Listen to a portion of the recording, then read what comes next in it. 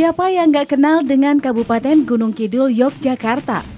Kabupaten yang berada di tenggara ibu kota Jogja ini dikenal memiliki iklim kering, namun menjadi penghasil kayu jati handal.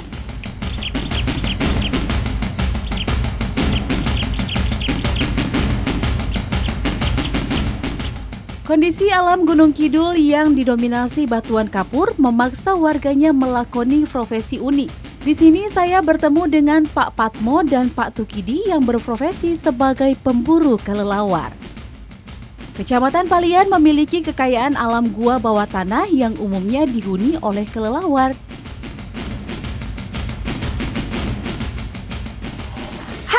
sang penantang. Di sini ya. saya sudah bersama Pak Tukidi dan Pak Patmo. Ya. Kita sudah berencana untuk mencari kelelawar ya Pak ya. ya. Nah lokasinya ada di Gunung Kidul, daerah istimewa Yogyakarta. Nah seperti apa keseruannya? Ikuti kita bersama. Ayo Pak. Ya. Monggo Pak. Bapak lebih tahu jalannya. Ya. Saya pun mendatangi salah satu gua tak jauh dari desa Giring yang banyak dihuni kelelawar. Wow, ini guanya besar sekali pak. Bener pak? Pak saya nggak nyangka loh pak. Sang penantang, ini namanya guanya tuh gede banget karena awalnya saya mikir guanya kecil. Ini ternyata segini loh. Iya. Wow ini mulut guanya sangat terlihat dari sini nih. Iya. Oke, okay, iya. jadi ini warnanya kan hitam nih, iya. karena nggak ada cahaya masuk. Iya, iya. Nah, kemudian ada lumut-lumut tuh warna hijau. Iya. Kemudian masuknya ke dalamnya itu berapa meter, Pak? Ya kurang lebih 100 meter lah kurang lebih itu masuk ke dalam. Masuk ke dalam bisa ya, 100 ya, meter? Bisa. Ini kan kayak dinding, ya, berarti masuk ke kiri kali ya? Ya ke kiri terus Jalannya sempit. Ya, enggak sempit itu kan oh. lebar Pak dalam. Iya, karena kita lihat dari atas ya, ya, ya. perspektifnya ya. beda. Ya, Oke. Okay. Oke, okay, mungkin keluarnya banyak di dalam ya. ya. Di situ. Oke. Okay. Kalau nama goanya ada nggak sih, Pak? Ada. Goa kelelawar ya. gitu ya. Iya. Oke, okay. ini terlihat dari tebingnya aja tinggi menjulang kayaknya dari zaman wow, zaman dulu kayaknya. Ya, kan, zaman dulu kan. Nenek moyang bapak kayaknya. Iya, iya. Ya udah Pak. Iya. Oke, kalau gitu. Iya. Kita lanjut lagi ya. Iya.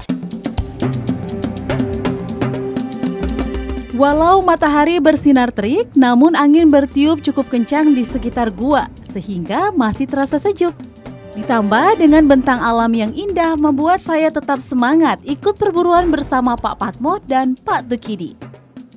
Perangkap jaring pun dibentang di lokasi yang diperkirakan banyak dilalui oleh kelelawar saat malam tiba. Nah, sang penantang, sudah saatnya kita pasang jaring karena waktunya sudah sore ya, Pak ya. Jadi kelelawar sebentar lagi akan keluar. Pemasangan harus ekstra hati-hati. Kalau tidak, jaring bisa putus diterobos kelelawar. Wah, di usia yang sudah lebih dari setengah abad, Pak Patmo masih semangat memasang perangkap jaring di bambu. Pak, kalau pasang jaringnya itu memang harus di atas gitu ya Pak? Iya. Kan biasanya itu di mulut goa. Iya. Ini kenapa pasangnya di atas gitu? Ya ntar ditaruhnya di bawah gua sini ntarnya. Mm -mm. Oh buat ditaruh di bawah juga? Oh gitu. Jadi kelelawarnya keluar dari mulut goa langsung ke sini gitu? Iya, langsung nabrakin jaring ini. Mm -mm. Oh gitu.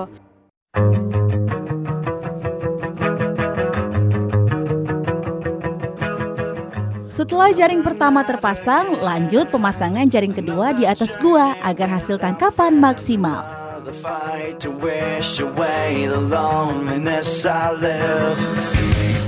Another circus show Another face that I don't know Another night of people asking what I have to give Thought that I would drive Pemasangan jaring menjadi hal pemacu adrenalin sebab langsung ditantang dengan jurang yang sangat dalam nih. No one knows the way I feel me. Pak itu nggak apa-apa ya? Nggak kelipat. Wuh! Ah, ah. Ini saya begini aja udah jurang loh. Oke, ini ngeri banget pak. Tunggu, tunggu, tunggu. Sang penantang, kalau kita merasa tidak percaya diri atau misalnya ragu, itu wah sangat bahaya. Jadi kita harus benar-benar konsentrasi dan percaya diri ketika kita berada di tepian tebing ini. Karena ini berhubungan dengan ketinggian nih. Kalau misalnya kita lost focus ya kita bisa ya jangan sampai lah jatuh ya Pak ya. Woo. Alright. Oke Pak, aman Pak.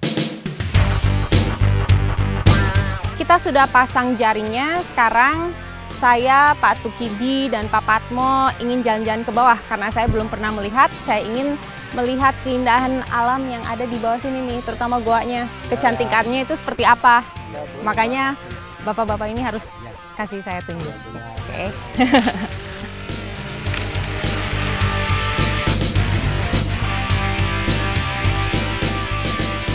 Di sini selain treknya sulit, banyak batu-batu tajam, ada juga tanaman-tanaman yang berduri.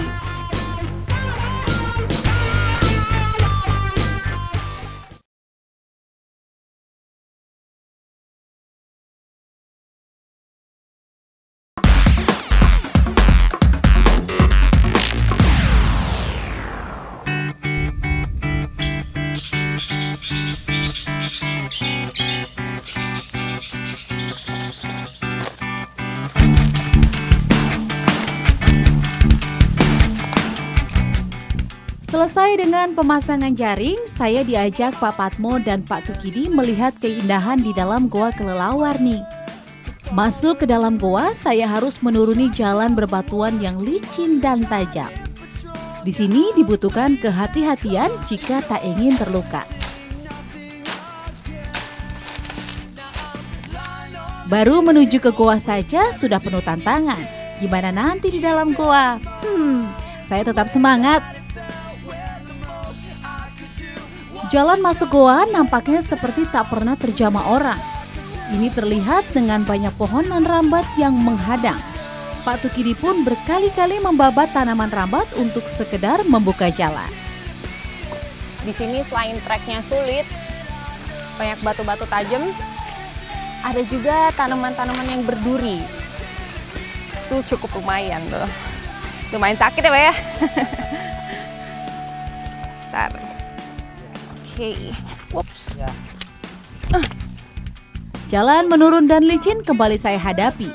Batuan kapurnya pun menjadi sangat licin karena tertutup lumut.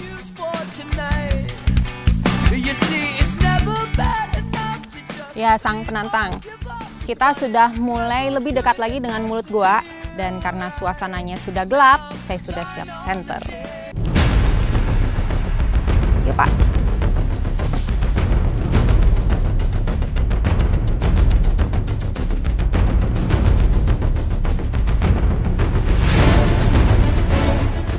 Belum masuk ke goa, kami disuguhkan dengan indahnya tebing goa yang seperti dipahat oleh alam.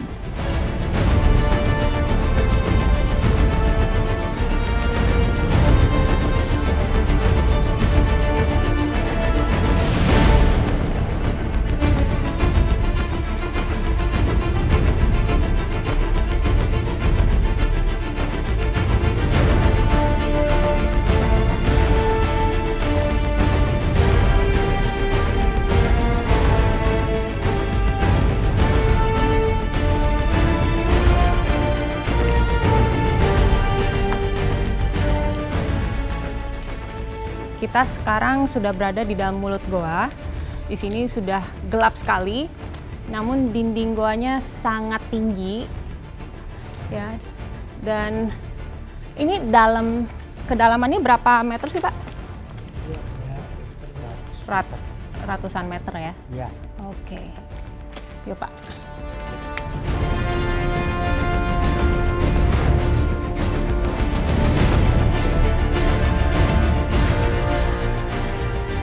Sebagai alat bantu penerangan, saya pun menggunakan senter agar bisa melihat keindahan di dalam Goa Kelelawar.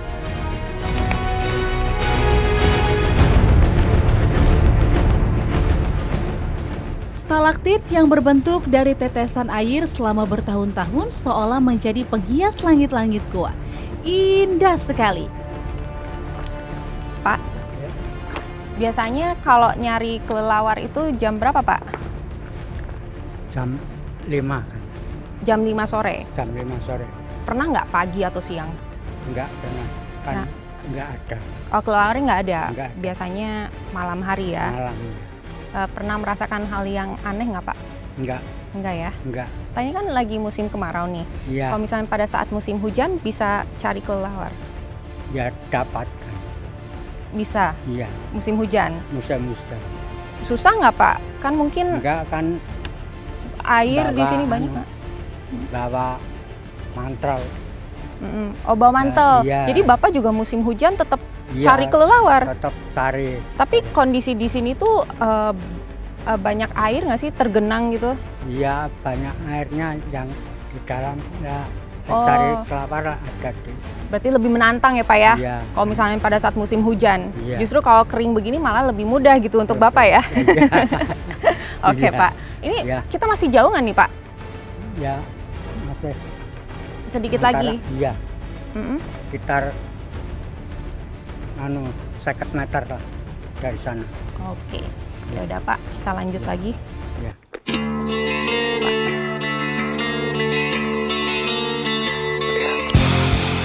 Puas menikmati keindahan perut goa, kami pun kembali ke perangkap jaring kelelawar.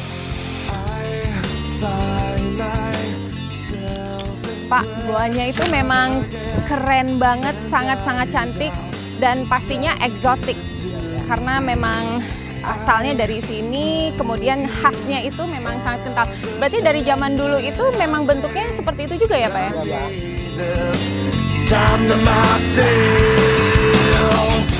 Sang penantang, lihat nih hasil tangkapan kita. Ada satu, itu kayak baby ya, padahal katanya udah besar ini. Lihat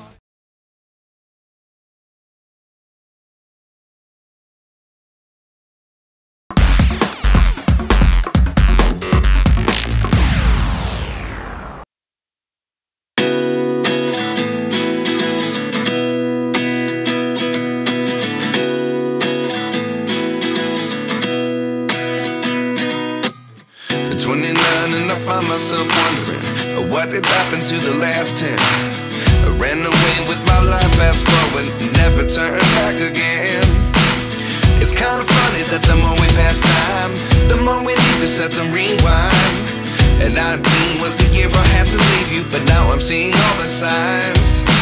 Is this really happening? I can't believe it's true. I'm just as surprised as you.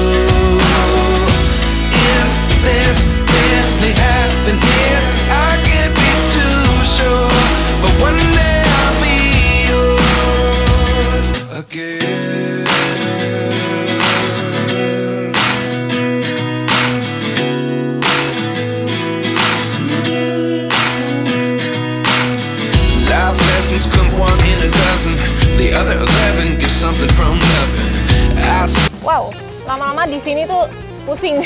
Soalnya di tepian. Wah, karena belum ada hasil, kami pun harus menunggu matahari tenggelam. Karena saat matahari mulai tenggelam, kelelawar pun akan keluar mencari makan. Pak, kalau kelewarnya udah ditangkap nih, Ya, itu biasanya diapain? ya dimasak untuk obat ini Mbak katanya obat nafas itu Mm-mm. asma. Buat oh, obat asma. Ya, Oh, terus apa lagi selain itu? ya, Manfaatnya? Saya, setahu saya itu juga Mbak. Cuman itu setahu saya. Mm-mm. Oh, jadi banyak orang yang nyari itu buat obat asma ya? Iya, Apanya sih Pak kalau boleh tahu yang diambil tuh? yang diambil semua badan itu apa? Kelelawar itu ya? Itu, Oh. Selain kelelawar, monyet ekor panjang atau biasa disebut makaka pun sering berkeliaran di tepian juang goa kelelawar. Walau lama menunggu kelelawar yang terjaring, saya tetap semangat. Hai sang penantang. Saya di sini duduk sama Pak Tukidi nih. Di tepian. Ini rasanya saya bisa prosotan nih ke bawah nih. Kita mau melihat hasil penjaringan kelelawar ada berapa banyak. Wah, benar saja. Saat matahari tenggelam, kelelawar pun mulai terperangkap di jaring yang kami pasang. Kelelawar pun main banyak yang berhamburan keluar dari perut.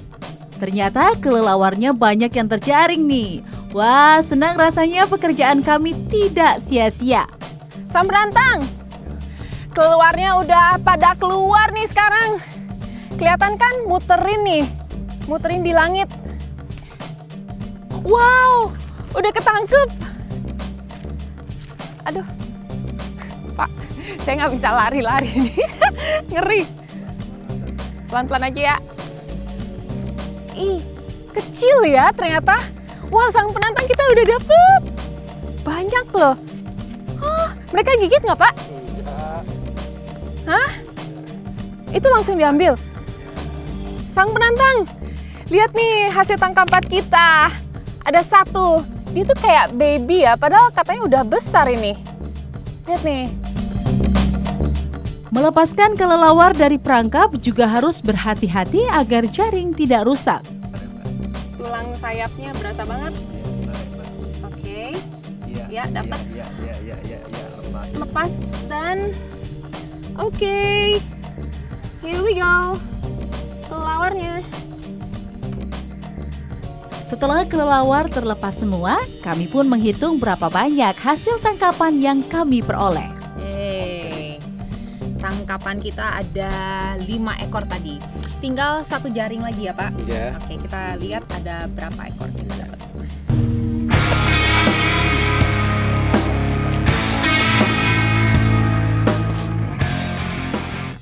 Selesai di perangkap pertama, lanjut ke perangkap kedua. Apakah hasilnya lebih baik atau tidak? Ada yang tersangkut? Ya, ada. Tapi memang di musim kemarau ini lebih sedikit. Eh, seperti yang dikatakan dengan Bapak, karena biasanya kelelawar yang paling banyak itu di musim hujan. Oke, kita lihat yuk. The wonder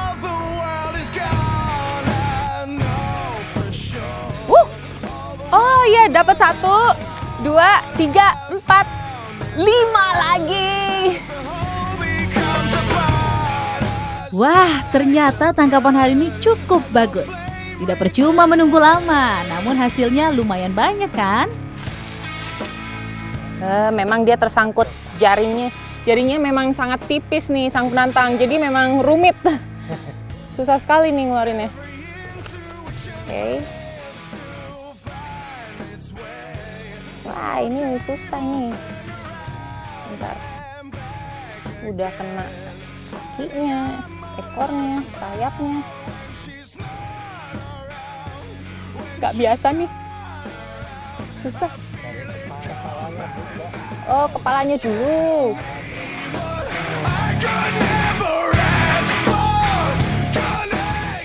Bapak, kita udah dapat banyak banget nih. Ya, Ini Bapak biasa jual berapa? Ya kadang-kadang seribu, kadang-kadang lima ratus mbak. Seribu perak Seribu ya. atau 500 itu kalau yang nawar ya Pak ya? Ya. Oh yang nawar. Wow, itu biasanya eh, warga itu belinya berapa banyak sih? Udah tergantung dapatnya mbak.